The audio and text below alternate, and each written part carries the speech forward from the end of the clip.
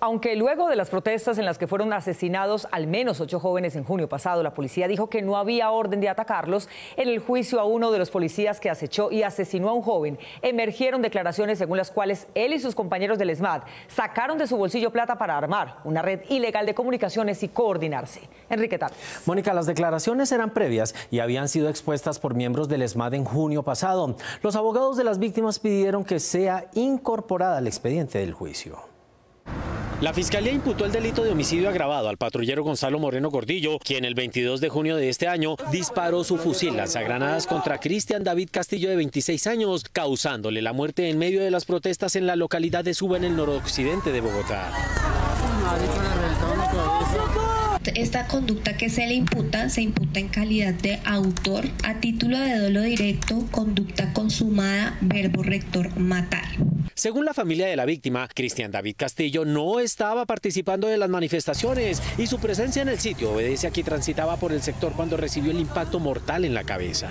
Él iba de paso y estaba mirando la, la protesta. El ente acusador señaló que el patrullero Gonzalo Moreno Gordillo del SMAT vio a Cristian, lo siguió y cuando este se encontraba al lado de esta tanqueta, apuntó su fusil directamente contra el indefenso transeúnte y le disparó.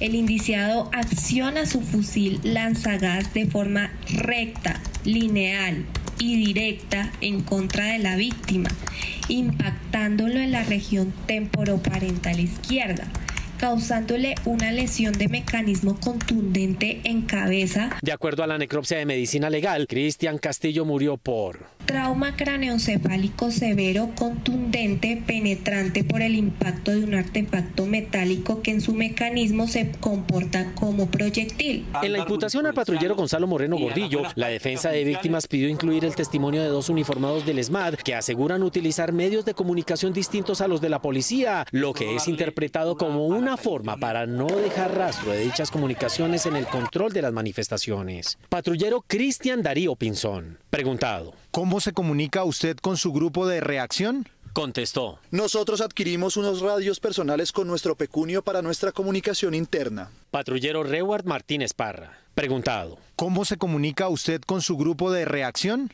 Contestó. Por medio de unos radios de comunicaciones personales que usamos para mejor comunicación en la reacción. Según la defensa de víctimas, la red clandestina de comunicaciones utilizada por el SMAD le permite a los policías ocultar las órdenes que se transmiten para enfrentar a los manifestantes, razón por la cual no hay cómo hacer seguimiento a la orden impartida al patrullero que ocasionó la muerte del joven Castillo.